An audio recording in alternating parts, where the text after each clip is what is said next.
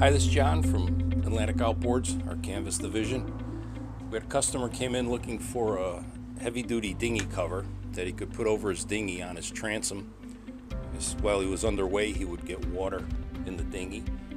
We brought the dinghy over and started patterning the dinghy.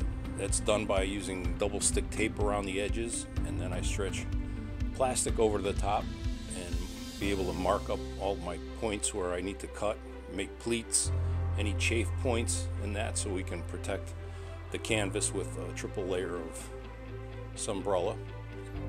We bring in the pattern, lay it out on the material, cut it out, and then bring it over to the sewing machine and start sewing it together.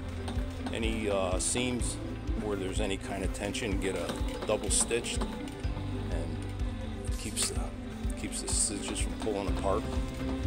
And use a double stick tape in most of the seams and that keeps it all together while you're sewing. It also adds a protection of waterproof in the seam so the seams stay watertight. Anywhere where there was a chafe point, the roll bar, the motor, uh, the handholds and lights, we use triple layer of the material for any chafe protection. To secure the cover on, I use a stainless steel ratchet strap with a one inch strap that goes around the lower part of the tube.